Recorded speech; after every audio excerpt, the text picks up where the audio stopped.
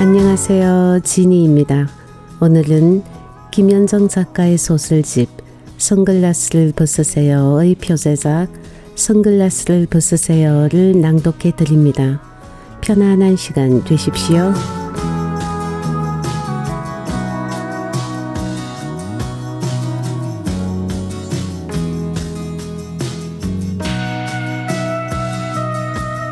선글라스를 벗으세요. 지연이 김현정 왜 그 시간에 싱크대 위의 수납장을 정리하고 싶었을까요? 아무리 생각해도 뜬금없는 일입니다. 사정이 훨씬 지났는데 상가에 간 남편은 돌아오지 않았고 그네마저 귀가하지 않아 무료했던 걸까요? 눈 따로 마음 따로 읽던 신문을 펼쳐놓은 채로 나는 불현듯 의자 위로 올라갔습니다. 이 집에 들어온 지 2년이 넘도록 지금껏 손도 대지 못한 데가 몇 군데 있습니다. 무심한 거야, 게으른 거야. 남편은 수시로 들이대지만 그런 이유 때문이 아니라는 걸 당신은 알겠지요. 싱크대 위 수납장의 오른쪽 한 칸은 아직 눈길도 주지 못한 곳 중의 하나였습니다. 당신의 디너 세트 때문이었지요. 당신이 애면 글면 장만했다는 진주빛 디너 세트 말이에요. 사놓고 한 번도 써보지 못했다는 얘기를 남편에게 들어서인지 섣불리 만질 엄두가 나지 않더군요. 의자 위에 올라선 나는 무엇에 끌린 듯 수납장의 문을 열어젖혔습니다. 맨 위칸에는 오목한 스프 접시들과 설탕 크림 그릇이 중간 칸에는 커피 잔들이 맨 아래 칸에는 크고 작은 접시들이 가지런하게 정돈되어 있었습니다. 나는 커다란 접시 하나를 집어들었습니다. 가느다란 은빛 선 하나가 테두리 안쪽에 둘러져 있고 선이 살짝 어긋나게 만나는 한 지점에 은빛 아일리스 한 송이가 섬녀하게 피어난 접시였어요. 얼마나 오래 거기에 그렇게 있었는지 가장자리에 내 엄지손가락 지문이 선명하게 찍히더군요. 그것은 그릇이라기보다 대를 물려야 할 만큼 값비싼 장식품이라고 할까요? 여섯 명의 가족이 그것들에 담긴 음식을 앞에 놓고 식탁에 앉은 그림이 떠올랐습니다. 19세기 이탈리아의 명화에 나옴직한 그림이었지요. 여기에 어울릴 음식이 뭘까 생각하다가 접시를 슬그머니 제자리에 올려놓았습니다. 수납장 문을 막 닫으려 할 때였어요. 무언가 다급히 내 눈길을 잡아채는 느낌이 있었습니다. 난 다시 문을 활짝 열어젖혔지요. 맨 위칸 가지런히 놓인 스프 그릇 뒤쪽으로 헝겊자락 같은 게 살짝 보였습니다. 남보라빛 공단에 노랑과 초록, 자주빛의 페랭이 꽃들이 세틴 스티치로 촘촘히 수놓인 좁고 길쭉한 주머니였어요. 빨간 리본으로 꼭 여며진 주머니를 조심스럽게 열었습니다. 속을 들여다보던 나는 주머니를 떨어뜨리며 소리를 질렀어요. 내 입보다 먼저 몸속 어디에서 비명이 터졌는지도 모르겠습니다. 주머니가 거꾸로 떨어지며 속에 들었던 것이 주방 바닥에 내팽개쳐졌습니다. 그 고운 비단 주머니 속에서 나온 것은 은수저였습니다. 저승꽃 같은 얼룩을 손잡이 끝까지 덮어쓴 은수저 말입니다. 형광등 불빛 아래 누운 그것은 곱디고 온 꽃상여 속의 시신 같다고나 할까요? 거뭇거뭇한 시반을 뒤집어 쓴 시신 말이에요. 그것이 당신의 수저라는 것을 나는 금방 알았습니다. 이 집에 처음 와서 보았던 남편과 아이들의 것과 똑같은 것이었으니까요. 손잡이 끝부분에 오색의 칠보가 막대 모양으로 박힌 수저지요. 나는 냄비에 쿠킹 호일을 깔고 당신의 수저를 담근 뒤 물을 부었습니다. 수저를 덮은 물이 팔팔 끓을 때 소다를 솔솔 뿌렸어요. 이상하게도 당신의 수저는 조금도 달라지지 않았습니다. 그렇게 하면 실컷은 노쇠 조각처럼 변한 은수저도 새하얘지며 반짝거리던데 나는 수저의 물기를 닦아 비단 주머니에 집어넣었습니다. 그것을 쓰레기 봉투에 던지지 못하고 왜 도로 주머니에 넣었는지 모르겠어요. 내 마음대로 할 수 없는 어떤 힘을 검게 녹슨 수저와 그것을 보관한 사람에게서 느꼈던 걸까요? 나는 2년 전에 닦아서 쌓아놓은 남편과 아이들의 은수즈를 싱크대 서랍에서 꺼내보았습니다. 반짝반짝 광이 나고 있더군요. 당신의 은수즈는 그 주인이 죽었다는 것을 알았던 걸까요? 주거니의 수저는 산 사람 것과 엄연히 구별되어야 한다는 것도 알았을까요? 내 등 뒤에 붙어 온갖 힘을 행사하는 당신의 정체가 한가 실커멓게 녹슨 쇠붙이에 불과하다는 것을 확인한 것이 연민과 경악 속에서도 나를 통쾌하게 했다면 당신은 서운하다 하겠지요. 지금쯤 남편과 큰애 환희가 당신에게 도착했겠네요. 함께 갈 거지? 아침에 남편이 물었을 때 이번에는 큰애와 둘이서 다녀오라고 했더니 남편도 더 이상 가자는 말을 하지 않더군요. 큰애가 제대 후 처음 가는 성묘이기도 하니까요. 자정 넘어 보았던 당신의 수저가 아직도 머릿속에 가로놓여 있습니다. 그 수저는 작은 애 방에 걸려있는 당신의 초상화보다도 더 확실하게 당신이 한때 이 세상에 살았던 사람이라는 것을 느끼게 합니다. 당신은 오늘 누구보다도 작은 애 웅이를 기다렸을지 모르겠네요. 지난해 늦가을 입대하기 전에 보고 못 보았을 테니까요. 주위 속에서도 신병 훈련을 잘 마쳤다니 더 강건한 남자가 될 테지요. 지난주에는 웅이가 제 수첩을 보내달라고 연락이 왔더군요. 웅이의 책꽂이에서 찾아낸 수첩에는 지난 학기의 시간표와 지인들의 주소, 전화번호, 핸드폰 번호, 은행 계좌번호, 어느 책에서 베낀 듯한 잠언들, 컴퓨터 게임 설명들이 여기저기 어지럽게 적혀 있었습니다. 수첩은 몇 년째 쓰는 것인 듯 아주 낡아 있었어요. 무심코 수첩을 뒤적이던 나는 어느 페이지에서 멈추었습니다. 당신이 세상을 떠나기 바로 전에 웅이가 쓴 글이었습니다. 놈은 기어이 엄마와 동행할 모양이다. 엄마는 그놈 앞에서 아무런 한것도 하지 못하고 있다. 엄마의 모든 것을 이미 그놈에게 맡긴 것 같다. 엄마 생신 선물로 빨간 모자를 샀는데 드릴 수 있을까? 이제는 쓸 일이 없어진 모자를. 바로 그 모자였습니다. 웅이의 옷장 속에 놓인 빨간 앙고라 모자. 만지면 사르르 녹아버릴 듯 보드라워 보이는 사양 없는 동그란 모자지요. 여태 끝 나는 뭉텅뭉텅 빠져버린 머리카락을 감추기 위해서 당신이 쓰던 모자인 줄만 알고 있었습니다. 나는 그 모자를 만져보지 못했어요. 만져보다니요.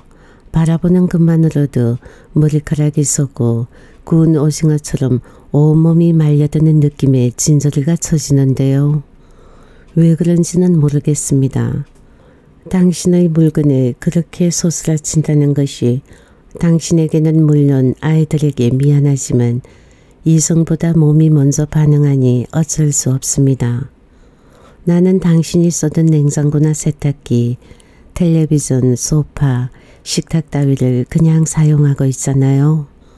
어떻게 그걸 쓰느냐고 친구들이 놀리지만 20년 이상 다른 여자와 삶의 덮개를 쌓은 헌 남자도 다른 여자의 죄치로 오염된 헌집도 고스란히 받아들였는데 그까지 헌 물건이 무슨 문제냐 싶었지요. 실제로 그런 물건들에 마음을 상한 적은 없었습니다. 그런데 당신이 소지했던 물건에 대해서는 왜 그런 반응이 솟구치는 걸까요? 웅이 방에는 모자 외에도 당신의 소지품이 여러 가지 있습니다. 그 애의 책상 서랍에는 당신의 진주 귀걸이와 목걸이, 금빛 손목시계, 가장자리에 작은 징들이 촘촘히 박힌 굵은 가죽 벨트, 태가 두꺼운 선글라스 두 개, 웅이와 함께 찍은 당신의 사진들이 들어있습니다. 사진 속 당신은 하나같이 짙은 선글라스를 쓰고 있지요. 당신의 물건들은 웅이의 도장이나 열쇠고리, 핸드폰 충전기, 이어폰 같은 것들과 뒤죽박죽으로 얽혀 있습니다. 충전기 줄이 당신의 시계줄과 갈색 테의 선글라스 다리 한쪽을 얽둥이고 있고요. 언제부터 그러고 있었는지는 알 수 없습니다.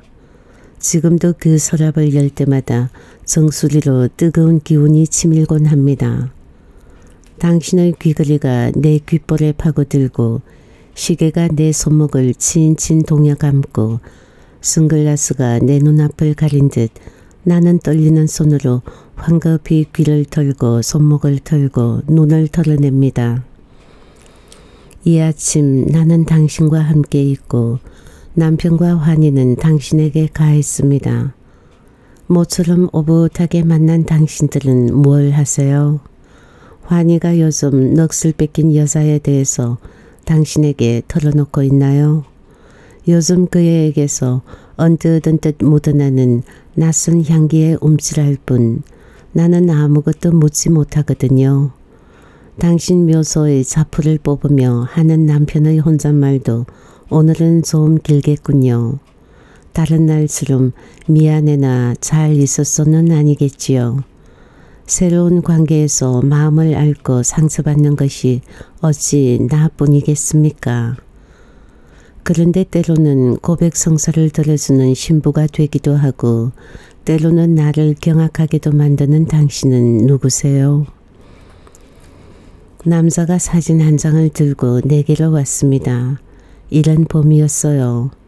카키색 사파리를 입은 그에게서는 중년 남자의 느끼함이나 추레함 대신 청년의 담백함이 느껴졌습니다. 적당히 마른 체구 때문이었을까요? 오전에 찬비가 내린 쌀쌀한 날이었어요. 화실에 아무도 없는 오후였습니다. 남자는 깔끔하게 손질된 사파리의 안주머니에서 사진 한 장을 꺼내어 마주 앉은 내게 건넸습니다. 흑백 사진이었습니다. 사진 속 여자는 참 싱그러웠습니다. 여자는 어깨에 맨 큰 가방의 끈을 한 손으로 잡고 고개를 오른쪽으로 약간 기울인 채 활짝 웃고 있었습니다. 어디 먼 곳으로 떠나면서 남은 사람들에게 한껏 지어준 듯한 웃음이었습니다. 앞가르마를 한 생머리를 어깨 밑으로 늘어뜨리고 깃을 세운 하얀 셔츠에 물방울 무늬의 긴 스카프를 느슨하게 묶은 차림이 세련되고 자유로워 보였습니다. 여자는 두꺼운 태의 선글라스로 눈을 가리고 있었습니다. 반들거리는 한쪽 렌저의 검은 표면에 나무 한 그루가 하얗게 누워있더군요. 여자의 눈 대신 내가 본 것은 굴절된 나무였지요. 남자가 말하더군요. 제 아내입니다. 그의 목소리는 명계처럼 가라앉아 있었습니다. 그런데 이상한 일이었습니다. 제 아내입니다 라는 그의 말이 내 귓바퀴에 닿는 순간 명치 끝에 야릇한 통증이 왔습니다.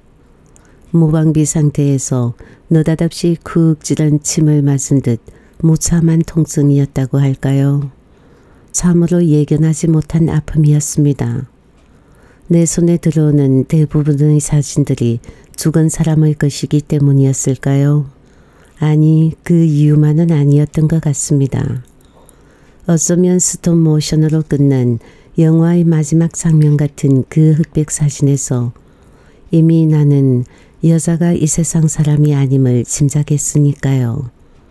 모든 사진이 순간의 멈춤을 담지만 이상하게도 흑백 사진은 정주된 시간을 헤아릴 수 없을 만큼 아득하게 느껴지잖아요. 그렇다면 사진 속 여자가 너무 젊어서 그랬을까요? 여자는 20대 후반쯤으로 보였으니까요. 아니, 그것도 아닌 것 같았습니다. 스물두 살에 죽은 청년의 얼굴도 그린 적이 있었으니까요. 낙수물이 파놓은 듯 억둑억둑한 자국이 빼곡한 얼굴이었지요. 그 아버지의 요구대로 어둠이 들어찬 낙수물 자국 하나하나를 메우느라 밤새워 세피를 문지른 적이 있었습니다. 나는 미간을 세우며 가운데 손가락 끝으로 명치를 꾹 눌렀습니다. 어디 불편하세요? 남자가 묻더군요. 나는 숙인 고개를 흔들었습니다. 통증은 곧 사라졌습니다. 나는 다시 사진을 내려다 보았습니다. 내 앞의 남자는 쉰 살은 되어 보였고 사진 속 여자는 너무 젊었습니다. 저 세상 사람 된 지 2년 됐습니다. 47에 죽었지요. 고개를 들어 나는 남자를 바라보았습니다. 아, 그건 집사람의 서른 살 때 모습입니다. 굳이 그걸 영정사진으로 쓰라고 하더군요. 죽기 전에. 여자의 얼굴을 보고자 다시 사진에 눈길을 꽂았습니다. 선글라스에 두 눈이 가려져 있을 뿐이건만 얼굴 전부가 가려진 듯 여자의 얼굴은 오리무중이었습니다. 사진에서 눈길을 떼는 순간 여자의 얼굴은 머릿속에서 사라져 버렸습니다. 뇌리에 선명히 남아있는 것은 오직 여자의 포즈뿐이었습니다. 사진을 쥐고 그렇게 막막해 보기는 처음이었어요. 물에 불어 얼굴 반쪽이 지워진 증명사진을 들고도 그렇게 암담하지는 않았습니다. 사람 얼굴의 왼쪽과 오른쪽이 대칭은 아니지만 그 경우에는 확실하게 대칭으로 그리기만 하면 되니까요. 여자의 사진 앞에서 내가 그렇게 난감했던 건 그녀의 눈을 알 수 없어서였던 것 같습니다. 누군가의 얼굴을 기억한다는 것은 그의 눈을 기억한다는 것인가 봅니다. 옛 사랑을 잊었다는 것은 그의 눈빛을 잊었다는 것이겠지요. 나는 그저 사진만 만지작거리고 있었습니다. 그런 내가 답답했던지 남자가 묻더군요. 사진이 안 좋은가요? 그런 건 아니고 나는 얼버무렸습니다. 이 사진을 확대해서 장례 때 썼는데 색이 바랬어요. 초상화를 그려두면 괜찮다던데 정말 그런가요? 멋진 작품으로 그려보고 싶은 사진이었지만 정작 얼굴을 그릴 자신이 없으니 나는 선뜻 대답할 수가 없었습니다. 선글라스를 벗기고 그려달라는 주문을 하리라고 지레 짐작했던 것일까요? 그런데 남자는 6호 크기로 그려달라. 흑백 그림이 좋겠다. 그림에 낙관을 찍어달라 하고 주문했습니다. 낙관을 찍어달라는 요구는 뜻밖이었습니다. 낙관을요? 내 말에 남자는 코를 찡긋거리며 장난스럽게 웃었습니다. 그래야 선생님의 진품을 가졌다는 생각이 들 것 같았어요. 화실을 운영한 지 10년이 지났지만 주문 그림에 낙관을 찍어 본 적은 없었습니다. 전시용으로 그린 케네디나 마릴린 몰로, 슈바이처 같은 유명 인사들의 초상화에만 낙관을 했을 뿐입니다. 실크 캔버스 초상화에는 사인보다 낙관이 어울렸습니다.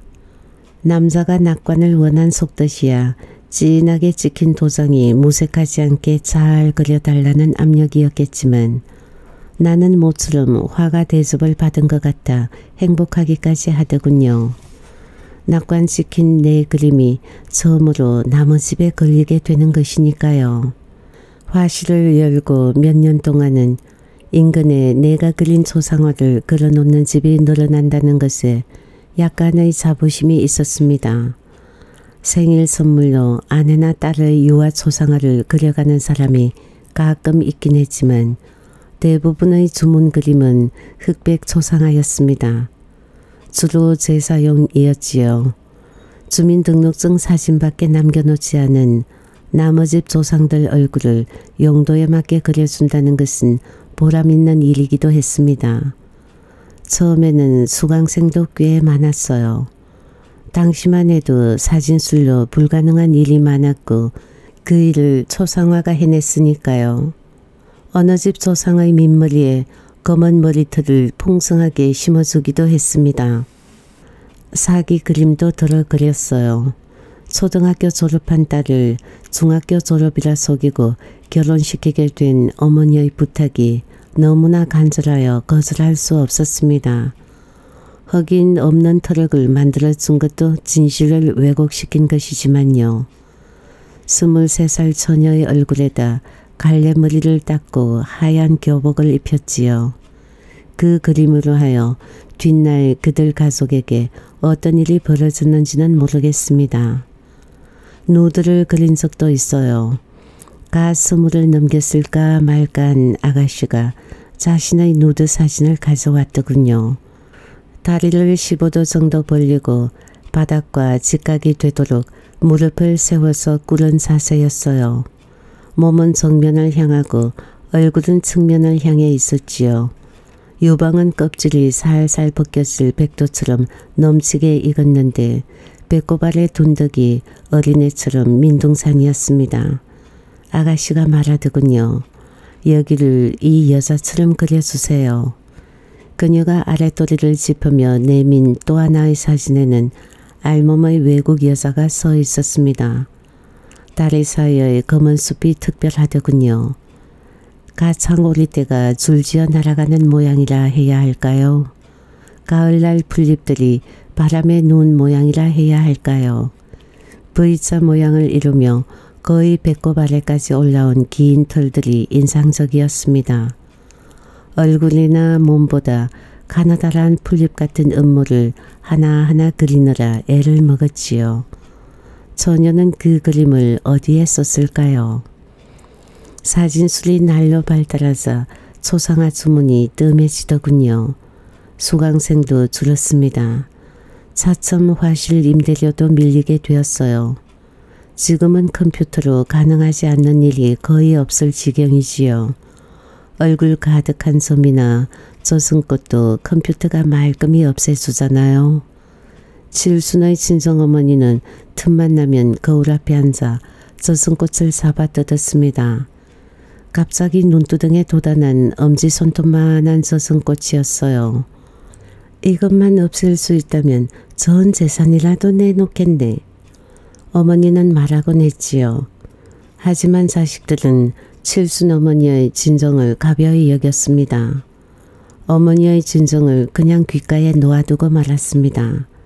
그 뒤로 하나 둘 저승꽃이 늘어나던 어머니의 얼굴은 순식간에 올망졸망한 저승꽃밭이 되어버렸어요.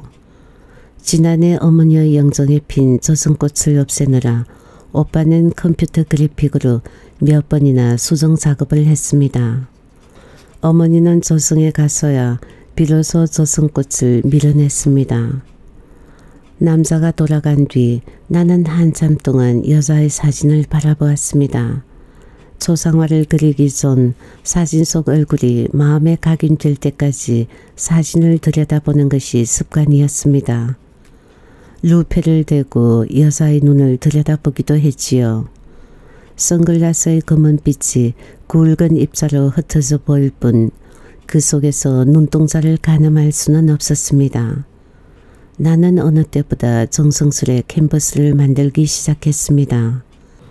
6호 크기에 맞게 자른 하얀 실크를 사각나무 틀의 가장자리에 풀로 붙인 다음 끓인 악교를 솜에 묻혀 천에다 고루 발랐습니다. 구석에 세워두었더니 서서히 마르면서 천이 팽팽해졌습니다. 손가락으로 퉁기니 텅 하고 북소리가 났습니다. 그 소리에 내 몸도 팽팽해지더군요.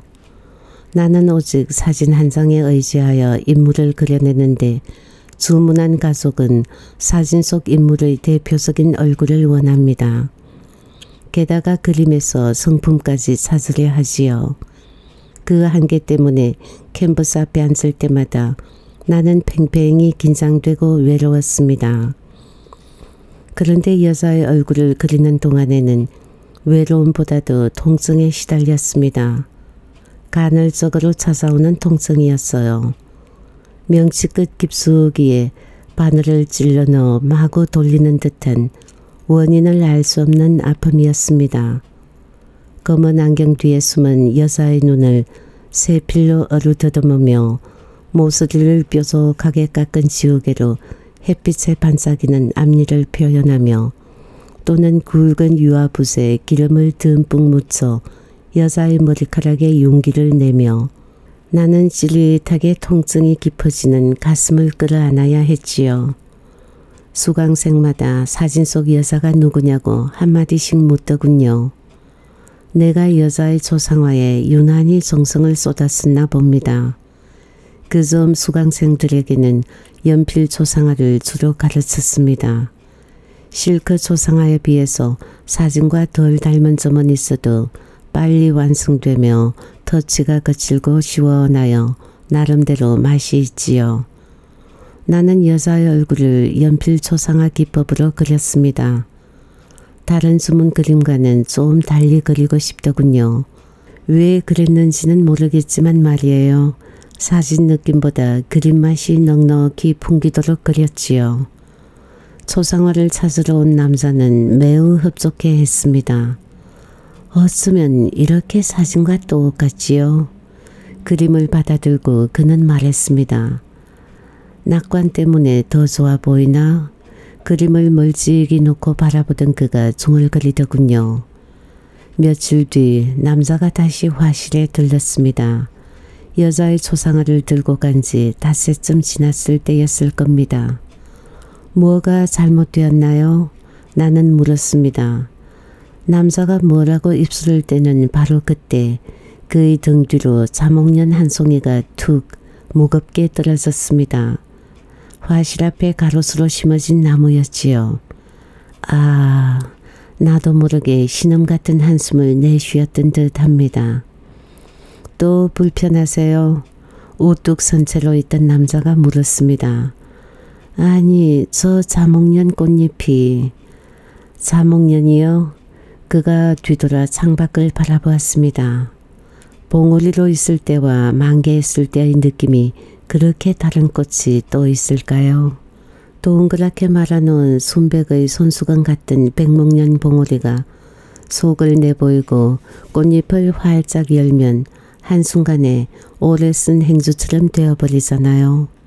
자목련도 봉오리와 만개했을 때의 느낌이 다르기는 마찬가지지요. 새끼 새의 턱 밑털처럼 연약하고 비밀스러운 자줏빛 봉오리는 아직 머리를 올리지 않는 동기의 모습인데 꽃잎을 뒤집으며 만개하면 창졸간의 낡은 속꽃을 드러낸 퇴기가 되어버립니다. 기생으로서의 절정기도 없이 그냥 퇴기가 되어버리는 것입니다. 그리고는 죽음이지요. 나는 꽃이 만개할까봐 자목련이 봉오리를 맺는 날부터 창가를 서성댑니다. 때 묻은 치마를 훌렁 뒤집어 쓰고 보도블록 위에 널브러진 자목련을 내다보던 남자가 물었습니다. 그런데 목련하고 무엇 됩니까? 나는 얼결에 대답했습니다. 사촌이에요. 그가 나보다도 큰 소리로 웃더군요. 그림이 한 장 더 필요해요. 소파에 앉으며 남자가 말했습니다. 두 아이에게 하나씩 주려고요. 애들이 너무 좋아해서. 그렇게 당신은 내게 왔습니다. 모든 일에는 운명적 동기가 있는 걸까요? 초등학교 저학년 때부터 나는 사람 얼굴 그리기에만 열중했습니다. 다른 여자애들이 인형을 가지고 놀던 때 말입니다. 부모님, 그부들, 선생님, 그리고 내 얼굴, 그것은 모두 살아있는 사람들의 얼굴이었지요. 같은 얼굴을 수도 없이 반복해서 그렸습니다. 왜 그렇게 얼굴 그리는 일에 집착했을까요? 그때 이미 영혼까지 표현할 수 없는 초상화에 애가 달았던 것일까요? 돌이켜보면 오직 당신을 만나기 위한 준비가 아니었나 싶지만요. 전문대학 원예과 졸업 후 1년쯤 분재농원에 다녔습니다. 작은 화분 속에다 소사나무나 느릅나무를 안전뱅이로 주저앉히고 마음에 드는 수영을 만들기 위해 나뭇가지를 철사로 감아 이리저리 틀어야 하는 일은 못할 짓이었습니다. 바닷가 제방에서 해풍에 멋대로 휘어져 커나갈 해송이 축소 복사한 것 같은 모습으로 화분 속에 갇히는 것을 더 이상 바라보기 힘들었던 나는 본격적으로 초상화 지도를 받기 시작했지요. 눈동자의 홍채까지도 표현해야 하는 극사실주의 기법의 실크 초상화에 나는 매혹되었습니다. 새 피를 쥐고 얼굴의 모공까지 그리고 있노라면 내 앞에 흐르는 시간에 대해 소연해지더군요. 급류 같은 시간이 나를 부식시키건 말건 내가 매료된 것은 바로 그 점이었는지도 모르겠습니다. 더러는 주거니의 눈동자 하나를 완성하기 위해 한낮을 보내기도 했습니다. 너무나 공소하여 내 마음까지도 텅 비게 만드는 그리는 내내 시간이나 공간을 전혀 느끼지 못하게 하는 그런 눈동자들이 있었습니다. 망자들과의 시간이 시작된 것입니다. 5년을 그렇게 보내고 내 이름의 화실을 가지게 되었지요. 이교희 초상화 연구실 그 간판이 당신과 남편 그리고 아이들을 달고 올 줄은 몰랐습니다.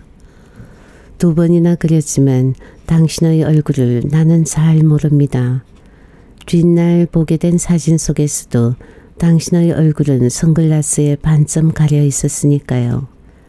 집에서 매일 보고 있지만 지금도 안개 속처럼 아슴아슴할 뿐 당신의 얼굴에 대해 딱히 떠오르는 것이 없습니다. 오랫동안 죽음을 예비했다는 당신은 서서히 세상으로부터 자신을 숨기는 작업을 해왔던가요? 뒷날 당신 자리에 올 사람을 위해서 선글라스가 필요하다는 것을 미리 알았던가요? 남자가 저녁 식사에 나를 초대했습니다. 두 번째 그림을 찾아가고 사나흘이 지나서였을 겁니다. 집사람을 되살려줘서 고맙습니다. 그가 말했습니다. 낙관 찍힌 내 그림이 그대에게 걸리게 되어 오히려 영광인걸요. 남자와 함께 있는 동안 어디에선가 끊임없이 삽상한 바람이 불어왔습니다. 바람은 커다란 손이 되어 시래기가 된 나를 어루만져 주었고 나는 가벼운 졸음을 느꼈습니다. 통유리창의 레스토랑은 참 훈훈했습니다. 남자는 나보다 열살이 많았지요. 그럼에도 나는 그에게서 나이를 느끼지 못했습니다. 절제된 태도 때문이었을까요? 가끔 영화관에나 산에 가자고 남자가 나를 불렀습니다. 그런 만남이 여섯 달쯤 계속되었을 때였습니다. 광릉 수목원 근처에서 남자와 내가 점심을 먹게 되었지요. 노릇하게 잘 구워진 굴비 한 마리가 상에 올랐습니다. 남자는 생선을 먹지 않는 나를 새삼 나무라며 투정처럼 덧붙였습니다. 어떡하지? 우리 애들 생선을 무척 좋아하는데 그 말에 얼굴보다도 내 목이 뜨겁게 달아오르며 아프더군요. 그 아픔은 떨림이었습니다. 그의 타박이 어떤 청혼의 말보다도 내 마음을 흔들었습니다. 그때까지 한 번도 재혼의 뜻을 비친 적이 없던 그였기에 더욱 그랬습니다. 그동안 남자를 향한 내 마음이 어땠는지는 설명할 수가 없습니다. 가끔 남자를 생각했어요. 하지만 내가 떠올린 것이 남자인지 그의 아내인지는 모르겠습니다. 언제나 남자의 얼굴과 그 아내의 선글라스가 동시에 떠올랐으니까요. 그가 재혼을 염두에 두고 나를 만난다고는 생각하지 않았습니다.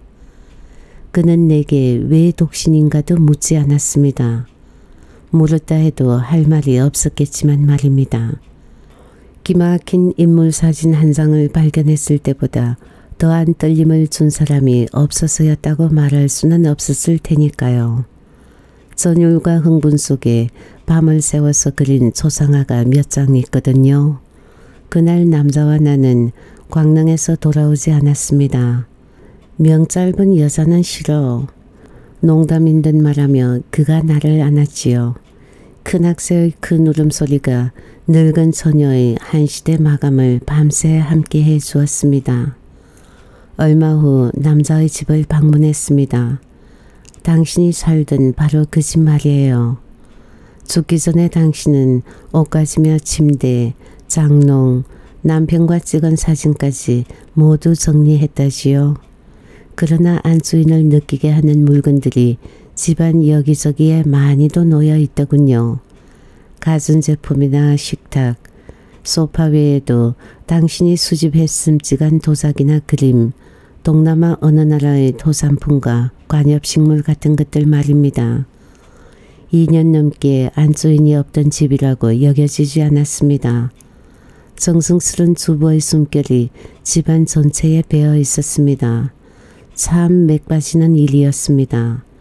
나를 필요로 하는 어수선하고 썰렁한 집을 상상하고 갔으니까요. 아무리 보아도 팥줄보의 손길이 만들었다고는 믿기 어려운 분위기였습니다. 어디에 안주인을 숨겨둔 게 아닌가 집안을 휘휘 둘러보았지요. 아이들 방 구경할래요? 외출 중인 웅이의 방문을 남자가 열었습니다.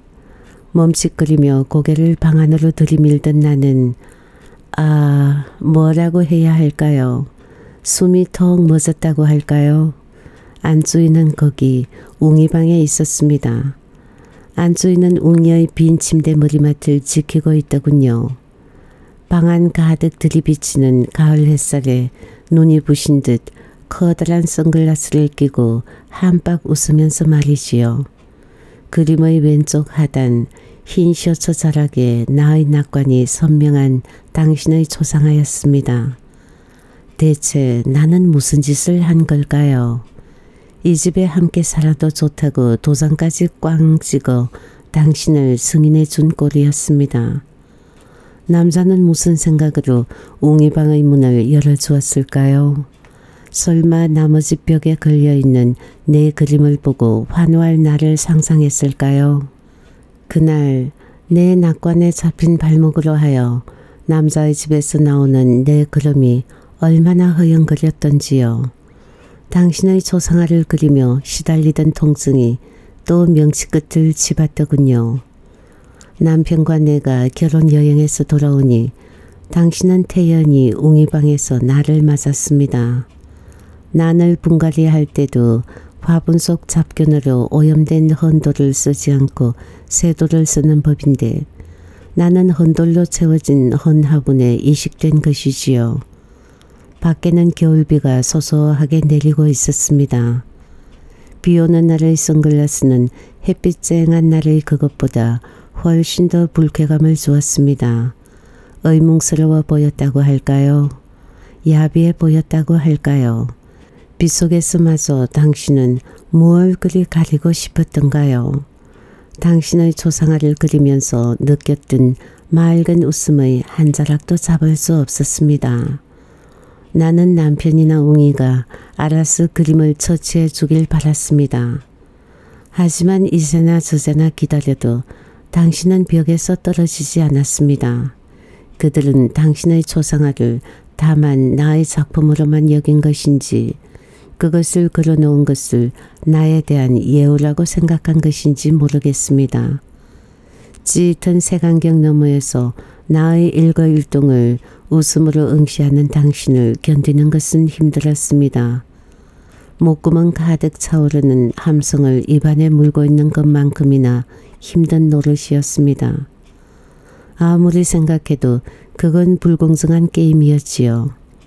남편과 심하게 다툰 어느 날이었을 겁니다. 나는 당신에게 소리를 지르며 달려들었습니다. 안경을 벗으란 말이야. 눈을 보고 말하자고 액자를 떼어 방바닥에 패대기 쳤습니다. 하지만 당신의 안경은 끄떡도 하지 않더군요. 유리 조각이 몇 개 박혔을 뿐 검은 안경은 여전히 당신의 눈을 가려주고 있었습니다. 당신은 얌전히 웅이방에만 있는 것이 아니었습니다. 아니, 웅이방에 있는 당신은 허울에 불과했어요. 실체는 언제나 내 등 뒤에 붙어 있었으니까요. 당신의 그늘로 내 몸은 늘 순떡했습니다. 당신은 식사 때도 어김없이 식탁에 와 앉았지요. 매끼 메뉴에 음식의 간에 요리의 재료와 방법에 당신은 나를 조종했습니다. 나는 당신이 시키는 대로 할 수밖에 없었습니다. 당신의 입맛이 곧 남편과 애들의 입맛이었으니까요. 남편은 말하곤 했어요. 어머니는 된장찌개에 참기름과 설탕을 약간 넣으셨어. 된장찌개를 일품으로 끓이는 어머니의 비법이었지. 멸치 넣고 푹 끓인 김치찌개 해보아. 돼지고기 쓰지 말고. 그게 어머니 장기였어. 김치 담글 때 어머니는 물을 채 쓸지 않고 갈아서 넣으시되 그래서 김치가 깔끔했어. 치약으로 은수저를 닦는 내게 어머니는 소다로 삶던데 하기도 했습니다. 거실에 걸린 산소화를 떼어내고 서양화를 걸려는 날을 남편이 질색하며 말하더군요. 그 그림은 거기에 그냥 둬. 어머니가 좋아하시던 거야.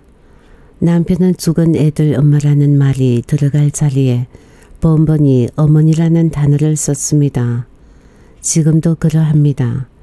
남편이 설마 내가 그 말을 믿으리라고 생각하지는 않겠지요? 그나마도 큰 배려라는 생각에 도르는 남편이 고맙기도 합니다. 온갖 신선한 세월을 함께 했을 사람과의 옛일을 터놓고 말할 수 없는 남편의 삶에 연민이 일기도 하고요. 하지만 천연덕스러운 남편의 입술을 쥐어뜯고 싶을 때가 더 많습니다. 나는 남편을 헌남자로 받아들인 줄 알았는데 그게 아니었어요. 헌남자라니요? 그런 건 이 세상에 없습니다. 서로 몇 번 상처한 남자라 해도 그와 새롭게 인생을 시작하는 여자에게 있어 그는 백지 같은 새 남자라는 것을 나는 간과했던 것입니다. 결혼 전 이혼 자리보다 상처 한 자리가 더 힘들다던데 하며 걱정하는 가족들에게 나는 대답했었지요. 죽은 사람이 뭘 어쩌겠어요? 살아있는 새 남자가 걱정이지. 사실 결혼 전에 내가 두려워한 것은 어떤 여자와 20년 이상 살았던 기억의 주름을 가진 새 남자와의 생활이었습니다. 홀령들로부터 도망친다는 것은 쉬운 일이 아닌가 봅니다. 초상화를 그리는 동안 난 자주 주거니들의 꿈을 꾸곤 했습니다. 어느 날은 액자 속에 들어 있어야 할 주거니들이 한꺼번에 때를 지어 내 화실 유리창에 따개비처럼 붙어 있었고 어느 날은 정수리의 머리숱이 남달리 많은 아저씨가 내 캔버스 위에 달랑 올라앉기도 했습니다. 아저씨는 수북한 머리털을 모자인 양 훌렁 벗어 흔들며 어금니 사이에 끼인 웃음을 질겅질겅 씹었습니다. 모멸감에 지질리게 하는 웃음이었지요. 난 죽은 이들에게서 헤어나고 싶었습니다. 헌데 가장 강력한 홀령 하나가 나를 따라와 버렸습니다. 그것은 집요합니다.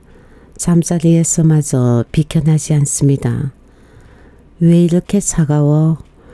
남편은 그젯밤에도 나를 밀쳤습니다. 내 몸이 닿자 남편은 몸소리를 치더군요. 밀쳐내는 남편의 손끝을 따라갔지요. 거기에 당신이 있었습니다.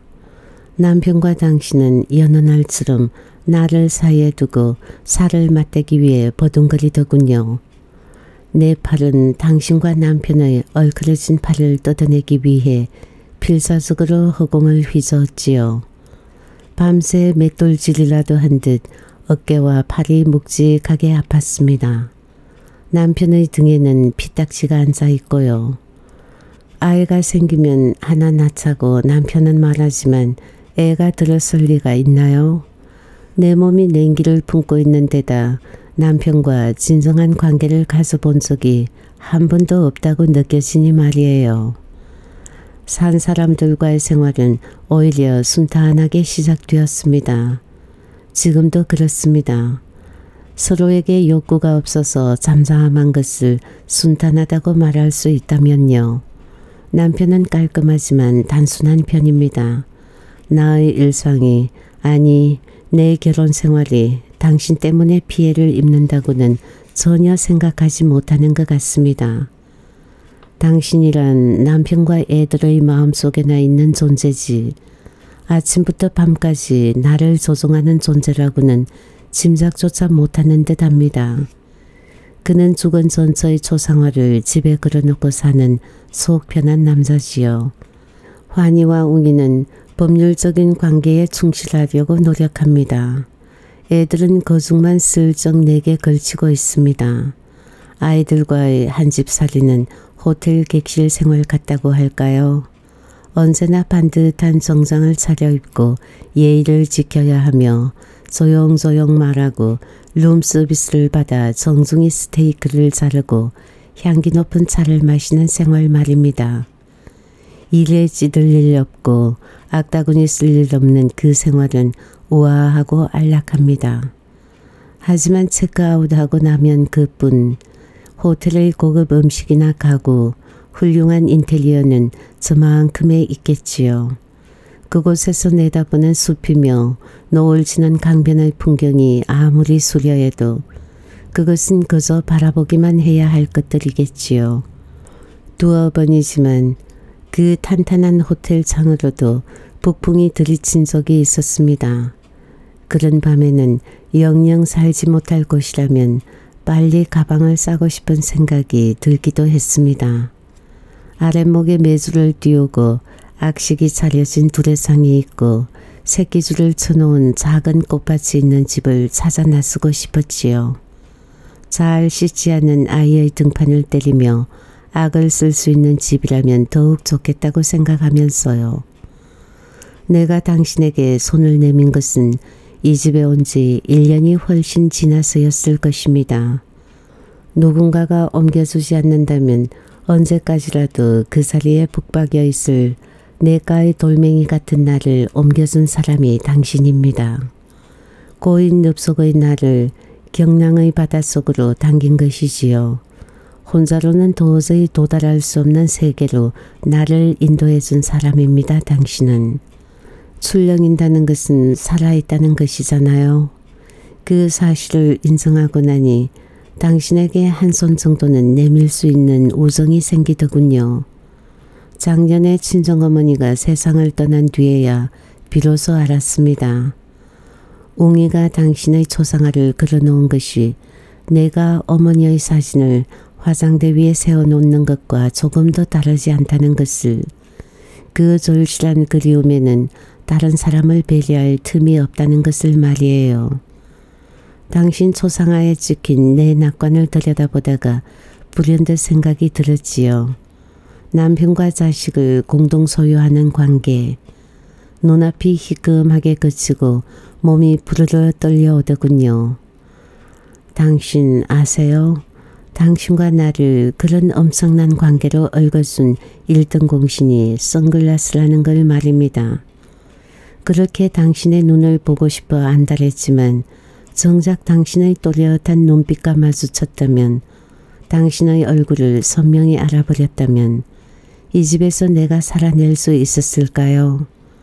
당신의 초상화나 녹슨 은수저에도 불구하고 당신을 가상의 인물로 믿을 수 있도록 도와준 것은 바로 당신의 선글라스입니다. 끝내 선글라스를 고수한 당신은 얼마나 현명한지요. 요즘은 검은 안경 뒤에 숨은 당신에게 모든 것을 얘기합니다.